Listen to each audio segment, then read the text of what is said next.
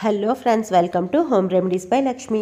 నిత్య దీపారాధన ఎలా చేయాలి? ఇలా దీపారాధన చేయడం వలన మనకు కలిగే లాభాలు ఏంటి అని ఈ వీడియోలో చూద్దాం. ఈ వీడియోని లాస్ట్ వరకు స్కిప్ చేయకుండా చూడండి. ఇలాంటి మరిన్ని విషయాలు తెలుసుకోవాలంటే మన ఛానల్ని సబ్స్క్రైబ్ చేసుకోండి. మనము చేసే ప్రతి పనికి ఏదో ఫలితం ఆశించి చేస్తుంటాము. అటువంటిది ప్రతిఫలము కోసమే పూజ చేసేటప్పుడు మరింత భక్తి శ్రద్ధలతో ఆ ఫలితం మనకు త్వరగా కలుగుతుంది. అలా మంచి ఫలితాలు కలగడానికి మనం నిత్య పూజలో ఏం చేయాలో తెలుసుకుందాం. నిత్య పూజలో మనం తప్పకుండా పాటించాల్సినవి ఒక తొమ్మిది చెప్తాను. ఇలా గనక మీరు చేసుకున్నట్లయితే మీకు పూజ చేసిన ఫలితం చక్కగా దక్కుతుంది. వాటిలో మొదటిది దీపం వెలిగించే ముందు దీపస్థుతి పఠించుకోవాలి. రెండవది వినాయకునికి సంబంధించిన స్తోత్రం పఠించాలి. నేనైతే లక్ష్మీ గణపతి స్థుతి పఠించుకుంటాను. మీ ఇష్టం. మీకు ఏ గణపతి స్తోత్రం వస్తే అది పఠించుకోండి. ఇక మూడవది మనము గుడిలో అయితే ఆచమనం చేసుకొని గోత్రనామాలు చెబుతాము. అలాగే మనం ఇంట్లో కూడా ఒక గ్లాస్లో నీళ్ళు తీసుకొని కొంచెం నీళ్ళు చేతిలో పోసుకొని నేలపై విడవాలి. ఆ తర్వాత మూడుసార్లు చేతిలో పోసుకొని ఓం కేశవాయ స్వాహ ఓం నారాయణాయ స్వాహ ఓం మాధవాయ స్వాహ అని చెప్పుకోవాలి. ఆ నీటిని తాగాలి. తర్వాత చేతిలో నీళ్ళు పోసుకొని నేలపై విడవాలి. మనము గుడిలో అయితే పూర్తిగా చేసుకుంటాము కానీ ఇంట్లో వీలు కాదు కాబట్టి ఈ కొంచెం చేసుకున్నా పర్లేదు. తర్వాత ఇలా చేసిన తర్వాత మీ గోత్రం కుటుంబ సభ్యుల పేర్లు చెప్పుకొని మీ కోరిక కోరుకోవాలి. అంటే దేవునికి నేను ఫలానా అని చెప్పి నీకు పూజ చేస్తున్నాను నా కోరికల్ని తీర్చు అని అర్థం అన్నమాట. అలాగే చాలా ముఖ్యమైనది నాలుగవది. మన నిత్య దీపారాధనలో మన కులదైవం పూజ తప్పకుండా చేయాలి. కులదైవాన్ని ఎప్పుడు మర్చిపోకూడదు. కులదైవానికి సంబంధించిన స్తోత్రాలు అష్టోత్తరాలు చదువుకోవాలి. ఐదవది మన ఇష్టదైవాన్ని ప్రార్థించాలి అష్టోత్తరాలు పఠించాలి. ఆరవది ప్రతిరోజు దేవునికి మనం పూలు పెట్టుకుంటాము అలాగే నీటిని పెడతాము. ఆ నీటిని మనము తీర్థము అంటాము. ఎప్పుడు కూడా దేవునికి ఉట్టి నీటిని పెట్టకూడదు. ఆ నీటిలో తులసి ఆకు లవంగ యాలకులు వీటిలో ఏదో ఒకటి వేసుకోవాలి. ఇలా చేసుకోవడం ఉత్తమం.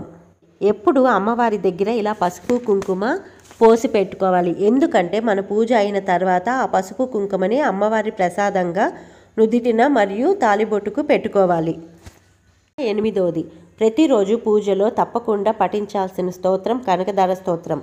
ప్రతి నిత్యం పఠించడం ద్వారా ఆర్థిక సమస్యలపై ఐశ్వర్యం కలుగుతుంది. ఇక తొమ్మిదోది. మీకు నచ్చిన దైవాల అష్టోత్తరాలు చదువుకోండి. లేదంటే ఏ వారానికి సంబంధించిన దేవత ఉంటారో ఆ దేవునికి ప్రత్యేకంగా మన కుల దైవం ఇష్ట దైవాలతో పాటు పూజ చేసుకోండి. ఉదాహరణకు మంగళవారం అయితే సుబ్రహ్మణ్యం స్వామి ఆంజనేయ స్వామి దుర్గామాతకి అష్టోత్తరం పఠించి నైవేద్యం పెట్టుకోండి. ఇలా గురువారం బాబాకి శుక్రవారం అమ్మవారికి శనివారం ఆ శ్రీనివాసుడికి మీ ఇష్టం. ఇలా చేసుకోవచ్చు. లేదంటే మేము ప్రతిరోజు వీళ్ళందరికీ కలిపి అష్టోత్తరాలు చదువుతాము పూజ చేసుకుంటాము అంటే మరింత మంచిది. పుణ్యఫలం దక్కుతుంది. ఇంకా దేవునికి పెట్టే నైవేద్యం విషయానికి వస్తే మన భక్తి స్తోమతకు తగ్గ ఏది పెట్టినా మంచి ఫలితమే వస్తుంది.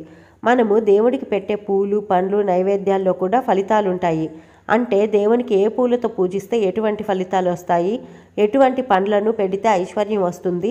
ఎటువంటి నైవేద్యం పెడితే మన కోరికలు తీరుతాయా అని మీకు మున్ముందు వీడియోల్లో తెలియజేస్తాను. నేను నిత్య పూజను ఇలాగే చేసుకుంటాను. మీరు కూడా ఇలా చేసుకొని మంచి ఫలితాలను పొందండి. ఇంకా మీకు ఎటువంటి సందేహాలు ఏమైనా ఉంటే నాకు కింద కామెంట్ సెక్షన్లో తెలియజేయండి. నేను మీకు సమాధానం చెబుతాను. ఈ వీడియో నచ్చినట్లయితే లైక్ చేయండి. మీరు తెలుసుకోవాల్సింది మరొకటి ఉంది. ఫ్రెండ్స్ ఏంటంటే మనకి పెద్దవాళ్ళు ఇంతకుముందు ఇంట్లో సాంబ్రాణి ధూపం వేసేవాళ్ళు. ఇప్పుడు మనకి సమయం లేకనో లేక వీలు కాకనో సాంబ్రాణి ధూపం వేసుకోవట్లేదు. కనీసం నెలకు ఒకసారైనా సాంబ్రాణి ధూపం వేసుకోవాలి. ఇలా వేసుకోవడం వలన ఇంట్లో ఉన్న నెగిటివ్ ఎనర్జీస్ అంతా పోతుంది.